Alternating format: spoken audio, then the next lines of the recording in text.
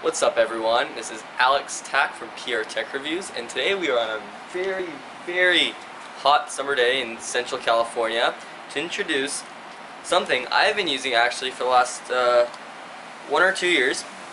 It's the 3D Connexion Space Navigator. Let's get started.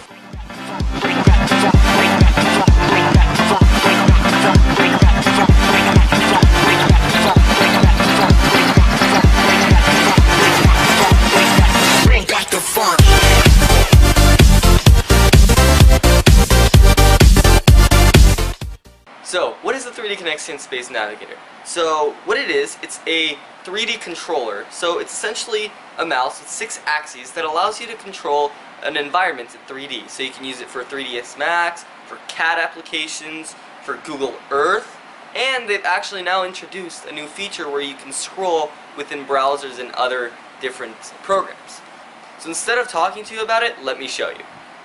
The Space Navigator runs on a standard USB or universal serial bus connector that you just plug into any normal computer. Now the build quality on this is extremely nice. You can see that there's the aluminum finish as long as the blue LEDs on the inside with a rubber matte finish where your hands will go and on the top you can see a glossy black finish adding a very nice touch.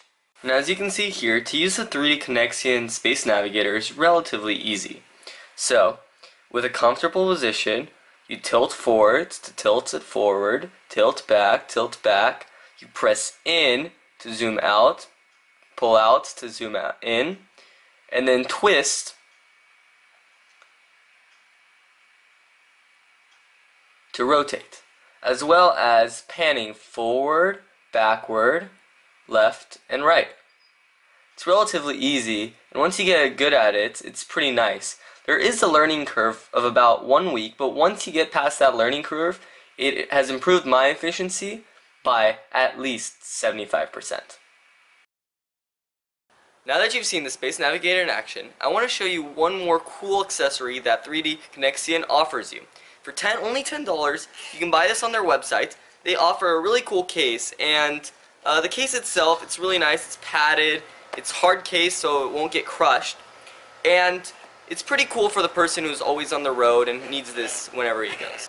Thank you guys, like and subscribe, you know the deal. If you guys have any questions, leave a comment down below, and we'll hope to see you next time in another video for PR Tech.